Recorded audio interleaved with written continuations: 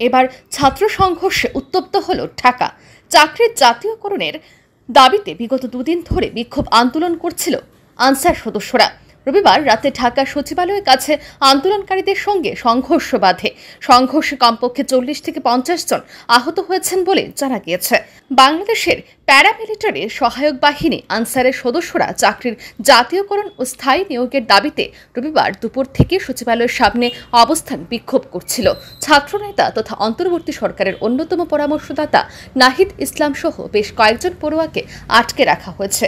এই খবর পেয়ে রাত নটা নাগাদ ঢাকা বিশ্ববিদ্যালয়ের ছাত্ররা জড়ো হয়। তারা আনসার সদস্যদের সরানোর চেষ্টা করলে হাতাহাতি বেঁধে যায়।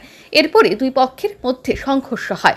সূত্রের খবর, দুই পক্ষের একে অপরকে লক্ষ্য করে ইট ছড়ে তুমুল মারপিট, ধস্তাধস্তি হয়।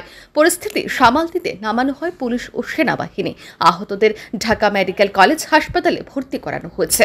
প্রসঙ্গত রবিবার অবসরপ্রাপ্ত লেফটেন্যান্ট জেনারেল তথা অন্তর্বর্তী সরকারের স্বরাষ্ট্র বিভাগের পরামর্শদাতা জাহাঙ্গীর আলম চৌধুরী আন্দোলনকারীদের আশ্বাস দিয়েছিলেন। এরপর আন্দোলনও তুলে নেয় আনসার বাহিনী, কিন্তু পরিস্থিতি উত্তপ্তই ছিল।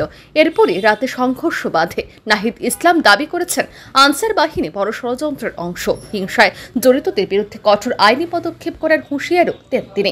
অন্যদিকে আনসার ও ভিলেজ ডিফেন্স ফোর্সের জেনারেল মোতালেব, সাজ্জাদ মাহমুদ জানান, যারা আন্দোলন জারি রেখেছিল তারা আনসার বাহিনীর সদস্য নয়, বহিরাগতরা অন্য পোশাকে এসে অশান্তি শুরু করে। Bureau report R E news.